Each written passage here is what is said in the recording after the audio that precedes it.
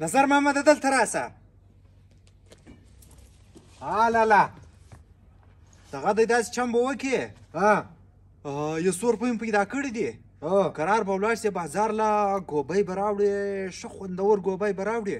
ماښام به یې پوخ کړو قرار داسې ښایسته موسم دی دا ګوبی به پوخ کو ماښام به له خوراکه خوند واخو سمه ده یاره لالا ته پرېږده دا ګوبی ګوبی ګوبی پرېږده خو نن راکه څه غوښه به راوړو یار نسته یاره ګزاره کوه اوس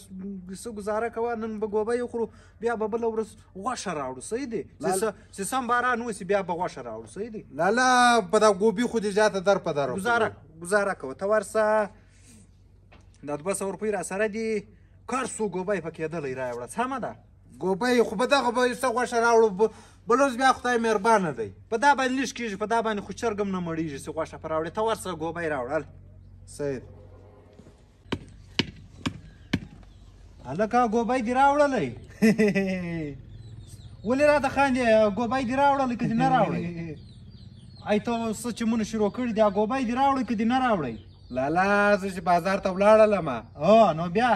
بیا هلته څه چم وسو په بازار کې چم نه دی سوی لالا زه چې بازار ته ولاړلم هلته غمازان ناستو نو بیا په دکان کې غمازان ناست ول شیان یې راغوښتي ول بس ما هم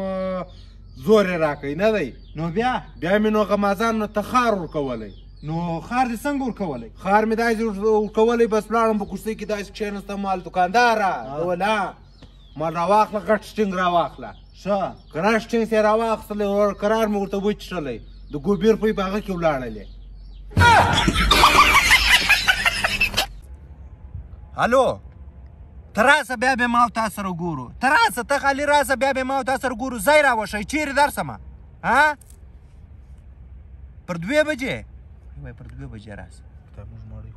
اے پر دوه بجې موږ مړی خورو له کاره ستړي راسو که ته واقع دونه نری ما ته سم ځای راوښیه ټیم راوښیه بیا بیا ما او تا سره ګورو پر څو پر څلور بجې کم ځای ته پر څلور بجې پر څلور بجې ته فوټبال ته اے سم ټیم راوښیه پر څلور بجې باندې موږ فوټبال ته ځو فوټبال کوو زموږ غالته میشت دی که ته وا کټ ډیر ټینګ سم ټیم راوښه سم ټیم کم ځای پر لاس بجې پر لاس بجې هو ته موږ بيدیږو پر لاس بجې اے لاس بجې سي دی هغه د خوب خوب ټیم دی سم ټیم راوښه سم ټیم سیدونه نه فارغه بیا د خلکو ته دمکیانې ولې ورکه ها